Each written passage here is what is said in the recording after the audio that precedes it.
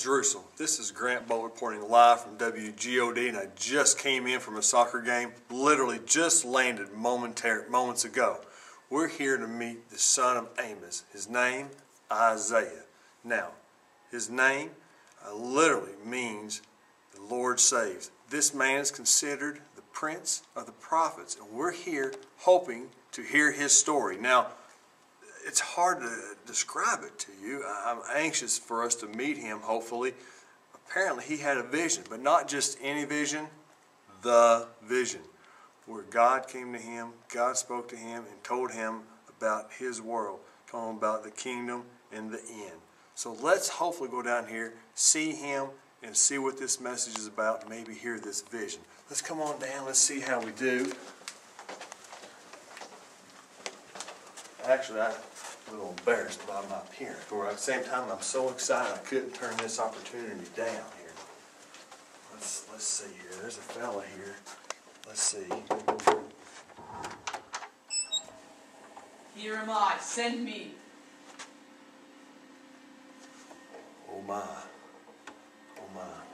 Excuse me. Uh, are you Isaiah? Here am I. Send me. Send you. Send you where? Do you not know? Have you not heard that the God is the everlasting God? The creators of the ends of the earth? Where he sends me, I will go. So you're. You okay? What? Where, where are we going? What? What's the message? Wherever he sends me, I will go. Cowboy, you, you okay? You seem a little bothered here. I saw the Lord. He was sitting on a throne, high and exalted.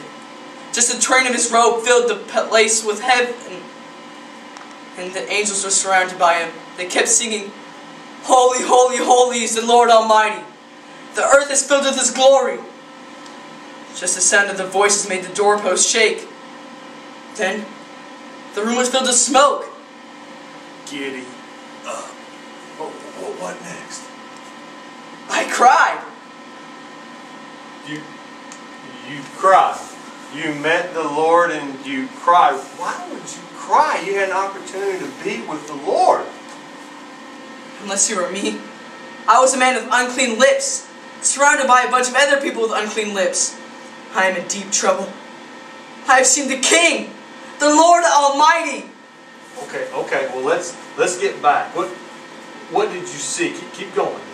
So there I was in trouble, when suddenly an angel came out of nowhere with a hot red coal. Then he touched the coal to my lips and made me a promise. He said that my guilt was gone because the coal had touched my lips. I could not believe it. My guilt was gone. I had been healed. Then I heard the God's voice saying something. Okay, what, what did he say? What did God say? He said, Whom shall I send? And who will go for us? So, so who do you think will go? Who will go deliver this message? Here am I, send me. Isaiah, is it you? Will you take the message for God? Here am I, send me. No, I think it might be you. You might be the one. Folks, let me ask you. Are you going to be like my friend Isaiah? Will you be the one who will deliver the message if God calls on you? Will you hear Him? Will you spread His word and His gospel? I think you can if you try hard enough. This is Grant Bolt reporting live from Jerusalem. And remember, wherever you go, there you are. Back to you at headquarters. Tell me more, just anything about what you saw, how you feel? Here am I, send me.